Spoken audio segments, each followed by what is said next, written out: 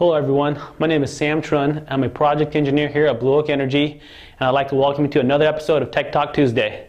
Today we'll be discuss discussing corrosion of steel piles on ground mounted PV systems. So what is corrosion? Corrosion is typically defined as a gradual destruction of materials due to a chemical reaction with its environment. Um, steel piles are typically subjected to two different types of corrosions, atmospheric corrosion and soil corrosion. Atmospheric corrosion occurs on the portion of the pile that is above grade, and soil corrosion occurs on the portion of the pile that's below grade.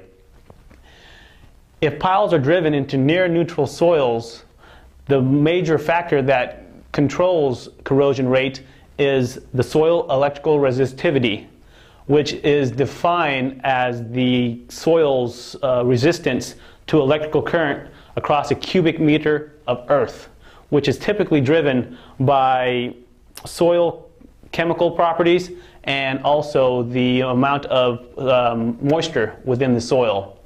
As you can see to the table to my left here, resistivity is measured in ohm centimeter. And as you can see at the top of the table there, resistivity values between 0 and 500, that would deem the soil to be severely corrosive. However, as you get higher in the resistivity values, the soil tends to be less corrosive. As you can see, anything above 32,000 is the soil is deemed to be progressively less corrosive.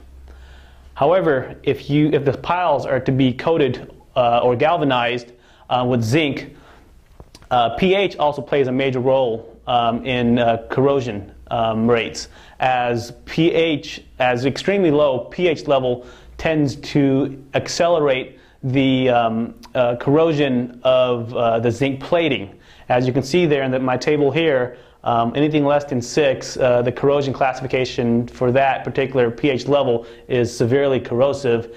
As you approach uh, near neutral soils, which uh, is above 7, you get um, uh, mildly corrosive um, conditions to steel piles. Um, soil sulfate and soil chloride also plays a role in um, corrosion rates. However, uh, to a much lesser extent than electrical resistivity and pH level. Um, for the next tech talk, we'd like to uh, get in further detail on methods to mitigate soil corrosion. Uh, but for now, I hope you learned something from this tech talk, and we'll uh, see you next time. Thanks.